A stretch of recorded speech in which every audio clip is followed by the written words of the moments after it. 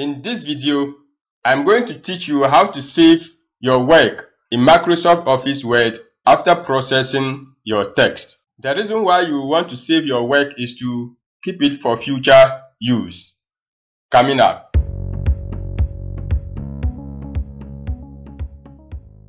Hello and welcome back. This is Online Office Teacher where I help you manage your data and information through online video just like this one. So if you are new here, consider subscribing.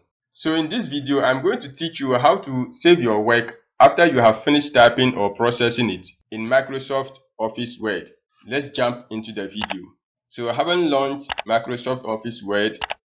I'm just going to use some few seconds to type my text. They say I am the fastest typist in this world, but I don't think that's true. Maybe we'll find out in this video. Okay, I've gotten two pages document and now we are going to save it. There are so many ways you can save your work after processing it. The first one is you can go to this save icon here at the upper left hand corner of your screen. So I can just click on it. Then it will take me to where I can choose the location I want to save. Usually documents is the location you may want to save. However, you can save in whichever location you want. So let me go back. So apart from clicking on the save icon, you can also go to file. Then it will bring you here. Then you click on save as and here you go. Now there's another way you can save by pressing F12 key on the keyboard.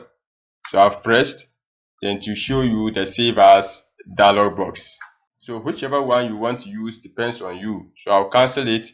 So I want to click on the save command here. You can also press Ctrl plus Shift on your keyboard as displayed on the screen. So I click on save and I want it to go to document. So I'll click on documents here. Then I'll press backspace to remove what is here.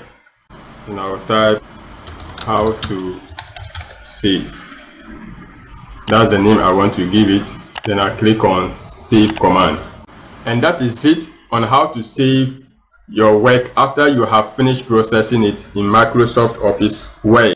However, you don't always have to wait to finish processing your work before saving it. The moment you get at least one paragraph, you can go ahead and save so that you'll be at a safer place when there's a system glitch or whatever. You can even decide to save the moment you launch Microsoft Office Word before you start to enter whatever text you want to get. So this brings us to the end of this video. I hope you like it. Please subscribe for more videos just like this one. Thank you for watching. Bye bye.